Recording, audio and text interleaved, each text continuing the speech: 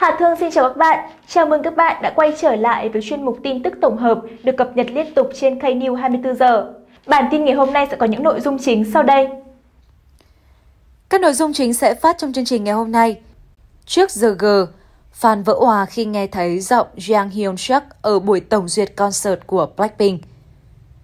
Trước thềm solo, Roger bị cho ra rìa. Ba thành viên rủ nhau mua chung quần. Chỉ riêng Roger không có. BTS tậu thêm một MV 100 triệu view, trở thành video thứ 31 làm được điều này. G-Idol giành chiến thắng thứ 8 cho Edward trên Music Core. IU xuất hiện khác lạ, hở khe khẽ sau khi phát hành single mới. Minho của Shinee tiết lộ điều fan hiểu nhầm, vô tình lộ chuyện mù công nghệ. Sau đây sẽ là những nội dung chi tiết có trong chương trình. Trước giờ G, fan vỡ hòa khi nghe thấy giọng Jang Hyun Suk ở buổi tổng duyệt concert của Blackpink. Quý vị thân mến, trưa ngày 30 tháng 1 năm 2021, buổi tổng duyệt cho concert The Show của Blackpink đã chính thức được diễn ra. Một lượng fan đăng ký với gói hội viên hạng Plus của kênh YouTube chính thức Blackpink được xem trực tiếp buổi tổng duyệt này trước thềm concert chính thức được diễn ra vào 12 giờ trưa theo giờ Việt Nam ngày 31 tháng 1 năm 2021, phát sóng trên nền tảng trả phí. Buổi tổng duyệt vào trưa ngày 30 tháng 1 đã giúp fan có một cái nhìn bao quát nhất về đêm nhạc hoành tráng quy mô lớn được diễn ra vào ngày hôm nay. Nhưng đáng chú ý, người hâm mộ dường như đã nhận ra sự xuất hiện của một nhân vật quan trọng vốn đã vắng bóng từ lâu. Đó chính là vị cựu chủ tịch Jang Hyun Suk, người sáng lập ra công ty giải trí YG Entertainment và cũng chính là người được nhiều fan gọi với cái tên thân mật, bố Jang. Cụ thể vào phần cuối của chương trình tổng duyệt, khi video trực tiếp được chuyển về màn hình chờ, khán giả đã kịp nghe một giọng nói rất giống với cựu chủ tịch Jang Hyun Suk. Dường như bố Jang đã xuất hiện tại concert của các cô nàng Blackpink để đưa ra góp ý cũng như chỉ đạo buổi tổng duyệt. Điều này đã khiến không ít khán giả tỏ ra thích thú, bởi sau nhiều lùm xùm, chủ tịch Jang Hyun Suk dường như đã biến mất hoàn toàn khỏi mọi hoạt động của YG Entertainment. Concert The Show của Blackpink sẽ chính thức được diễn ra vào trưa ngày 31 tháng 1 năm 2021 với trên nền tảng trả phí với nhiều đặc quyền dành cho các gói hội viên cấp cao. Cũng tại concert này, khán giả sẽ được tận mắt chứng kiến lần đầu tiên ca khúc mới trong album solo debut của Rose được vang lên tại concert, cùng với nhiều màn trình diễn mãn nhãn được thể hiện lần đầu tiên trên sân khấu của The Show. Hứa hẹn sẽ là một đêm nhạc bùng nổ với cộng đồng fan Blackpink nói riêng và người hâm mộ K-pop nói chung. Trước thêm solo, Roger bị cho ra rìa. Ba thành viên rủ nhau mua chung quần, chỉ riêng Roger không có. Những cô nàng Blackpink vốn nổi tiếng với gu thời trang sang chảnh, thường xuyên diện hàng hiệu đắt đỏ. Thậm chí đến cả trang phục mặc thường ngày của họ cũng đều có mức giá đắt đỏ, khiến dân tình choáng váng.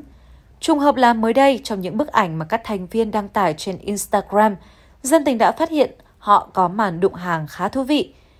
Qua con mắt tinh tường của các thánh soi đã phát hiện cả ba cô nàng Lisa, Jenny và Jisoo đều cùng diện một mẫu quần suông kẻ caro của Nick, thương hiệu được đồn đoán là do Jenny sáng lập ra.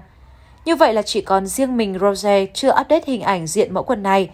Phải chăng là ba chị em rủ nhau diện chung quần mà quên không báo Rose? BTS tậu thêm một MV 100 triệu view, trở thành video thứ 31 làm được điều này.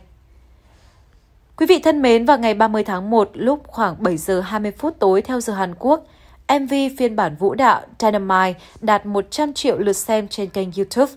Video được phát hành vào ngày 26 tháng 9 năm 2020, nghĩa là mất khoảng 4 tháng, 4 ngày để đạt được cột mốc quan trọng – trong khi đó, MV gốc của Dynamite gần đây đã lập kỷ lục MV của nhóm nhạc Hàn Quốc vượt qua 800 triệu lượt xem nhanh nhất. Được biết, Dynamite là sản phẩm đạt được thành công quốc tế một cách rực rỡ của BTS. Nó cũng lọt vào danh sách 13 bản hit debut tại No One Billboard Hot 100 và tiếp tục giữ vững vị trí đó ở những tuần tiếp theo, tính từ thế kỷ 21. Điều này cũng khẳng định vị thế của BTS tại thị trường quốc tế. G-Idol giành chiến thắng thứ 8 cho Edward trên Music Core. Trong tập ngày 30 tháng 1 của Music Core, Lights Goes On của BTS, Edward của G-Idol và Shiny Star của Kaeyoung Shell là những ứng cử viên cho vị trí đầu tiên. G-Idol đã mang về chiến thắng với 7.454 phiếu bầu. Đây là chiến thắng thứ 8 của họ cho Edward như thường lệ, Ezra tiếp tục có sự góp mặt của trưởng nhóm Show Yeon trong quá trình sáng tác và viết lời. Cùng với đó là sự hỗ trợ của nhạc sĩ producer Pop Time. Với giai điệu bắt tai và vô cùng cuốn hút, sản phẩm nhanh chóng nhận được cơn mưa lời khen từ giới hâm mộ. Đứng ở vị trí thứ hai là ca khúc Lights Go On của BTS.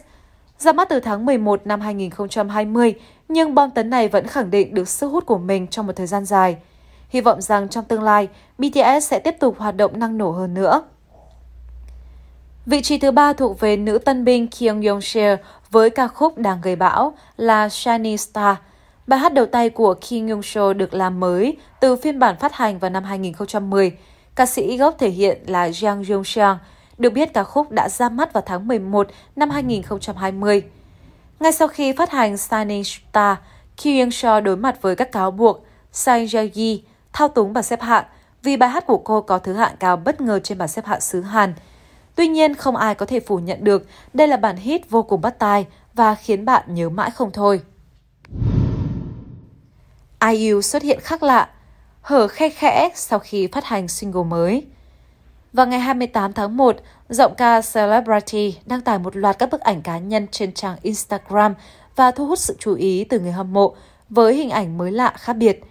Nếu như IU vốn được biết đến với phong cách đáng yêu, trong trẻo như công chúa, thì trong các bức ảnh mới đây, nữ ca sĩ lại xuất hiện trưởng thành hơn nhiều.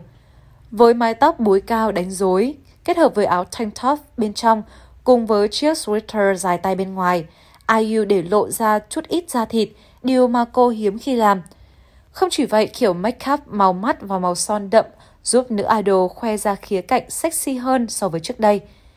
IU sẽ sớm bước sang tuổi 29 trong năm nay và có vẻ như IU đang dần muốn thoát khỏi vẻ ngoài ngây thơ mong manh thường thấy. Được biết đến với phong cách tiện lợi thoải mái, IU khiến fan choáng ngợp với sự thay đổi gây sốc lần này. Chỉ mới cách đây vài ngày, IU vừa phát hành ca khúc Celebrity mở đường cho album sắp tới kể từ khi cho ra mắt tới nay. Bài hát đã càn quét vị trí No One trên khắp các bảng xếp hạng âm nhạc lớn tại Hàn với giai điệu và vũ đạo vui nhộn. Celebrity thậm chí còn nhận được nhiều sự chú ý hơn khi tiết lộ rằng IU lấy cảm hứng từ một người bạn thân để viết nên lời bài hát. Cư dân mạng đồn đoán cảm hứng đó chính là từ cựu idol Julie. Minho của Sydney tiết lộ điều fan hiểu nhầm, vô tình lộ chuyện mù công nghệ. Mới đây, Minho nhóm Shinny tham gia buổi phỏng vấn với GK Korea, nơi nam idol kỳ cựu trả lời hàng loạt câu hỏi được gửi tới từ fans. Đã hoạt động trong ngành giải trí 13 năm, Minho được biết đến với tính cách năng nổ, hoạt bát và cũng cạnh tranh hiếu thắng. Nam Idols có niềm đam mê với thể thao và đặc biệt là bóng đá. Với hình tượng gắn liền trong suốt khoảng thời gian dài trong sự nghiệp, Nam Idol nhận về câu hỏi khá đặc biệt, điều mà mọi người hiểu nhầm về tôi ác. Minho sau đó chia sẻ tất cả những điều mà anh được nghe về mình thực sự không đúng lắm với tính cách thật. Tôi xuất sắc ở tất cả các môn thể thao, không bao giờ bỏ cuộc, là người đầy nhiệt huyết tham mê và năng lượng ấy hả? Mặc dù cũng có phần nào đó đúng, nhưng đến cuối cùng, Minho tự nhận mình cũng chỉ là người trần mắt thịt như bao người khác thôi. Thật ra thì cũng có đúng phần nào, nhưng với những thứ mà tôi không giỏi thì tôi bỏ cuộc nhanh lắm, chứ không hề dai dẳng theo đuổi hay không biết bỏ cuộc đâu. Không chỉ tự tiết lộ tính cách thật, Minho còn khiến fan gục ngã khi thể hiện trình độ mù công nghệ hài hước. Trở lại tháng 12 năm ngoái, Minho bất ngờ mở tài khoản Instagram riêng để kỷ niệm ngày sinh nhật tuổi 30. Dù mới chỉ mở được hơn một tháng, nhưng tài khoản đã được đăng kha khá bài viết. Một trong những câu hỏi mà Minho nhận được có liên quan đến Instagram. Bài post gần đây nhất mà anh save có nội dung gì? Ngay khi đọc câu hỏi, Minho lập tức nhìn lên với ánh mắt ngạc nhiên, ngây ngô xác nhận. Thứ đấy có tồn tại ấy hả? Bạn có thể save những cái bài post mà người khác đăng lên hả? Chỉ vừa mới biết Instagram có chức năng này vài giây, nên chắc chắn ai cũng đã biết câu trả lời của Minho. Tôi tệ ở mấy khoản này lắm, tôi chưa từng lưu cái gì về cả. Tôi chỉ vừa mới biết điều đó. Lần tới tôi sẽ thử. Có chút bẽ bàng, Minho đổ ngay tội lỗi lên đầu staff. Buồn cười thật đấy, tôi chưa bao giờ biết nó tồn tại luôn. Sao chẳng ai nói với tôi thế? Cảm ơn các bạn đã chú ý theo dõi tin tức tổng hợp cuối ngày của KNews 24 giờ. Đừng quên chia sẻ video và đăng ký kênh để luôn được cập nhật những tin tức hấp dẫn nhất cùng với KNews 24 giờ nhé. Xin chào và hẹn gặp lại!